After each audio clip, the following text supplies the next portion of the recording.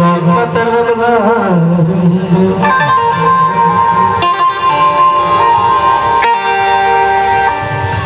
शारदी मैं तेरा